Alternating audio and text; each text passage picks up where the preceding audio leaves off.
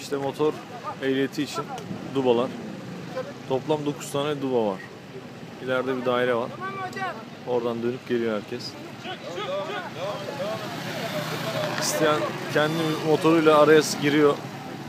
Bazısı yasak olduğunu söylüyor ama kendi motorunu sürüp de dubalarla geçenler de var. İşte bazı vitesli motorları görüyorsunuz arada.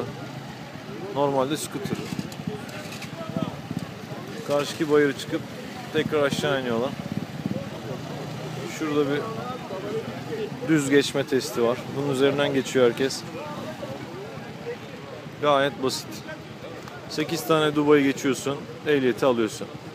Böyle bir saçmalık. Sonra 1300 cc'ye binebiliyorsun. Toplam maliyeti şu anda 520 lira motor ehliyetinin. Eğer B sınıfı ehliyetin varsa tabi. B sınıfı ehliyeti olanlar sadece bu dubaları geçip direksiyon sınavı yapıyor. Başka hiçbir şey yapmıyor. Ama B sınıfı ehliyeti olmayanlar ya da E ya da herhangi bir ehliyeti olmayanlar ayrıca sınava tabi tutuluyor. Ama daha önce ehliyeti olanlar herhangi bir sınava girmeden sadece direksiyonla A2'yi alabiliyor. İşte buyurun. Gayet basit. Motorlar sıralanmış.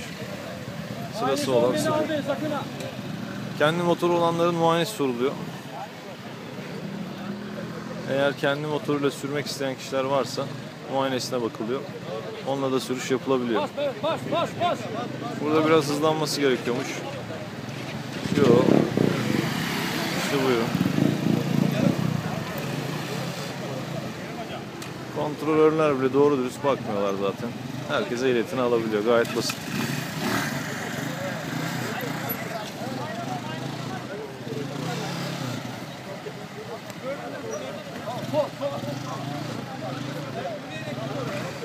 İleride kontrolörler var. Oradaki dönüşlere bakılıyor. Çok basit. Gayet kolay.